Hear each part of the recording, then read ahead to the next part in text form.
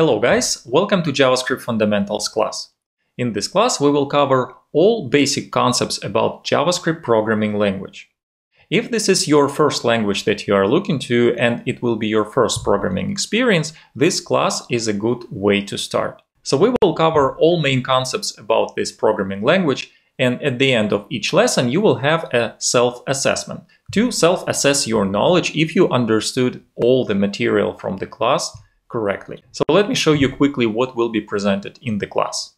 So we begin with Hello World. Uh, Hello World is a classic in the world of the programming languages. When you begin learning a new programming language, we start with Hello World. So on your computer, you install all needed environment and create a simple program.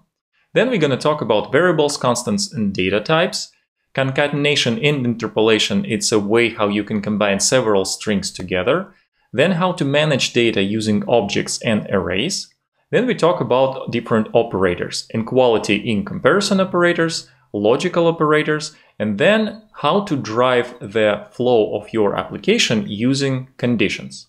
Then will be lesson about loops. This is the way how you can repeat your code. And then we talk about how you can reuse your code and put your code into the reusable components. So we talk about functions, classes, and methods.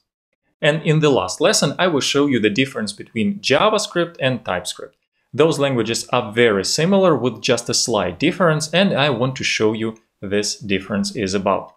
So by the end of this class, you will have a strong understanding of all those main concepts and even be able to apply those concepts to a different programming languages because they are pretty similar across all programming languages overall.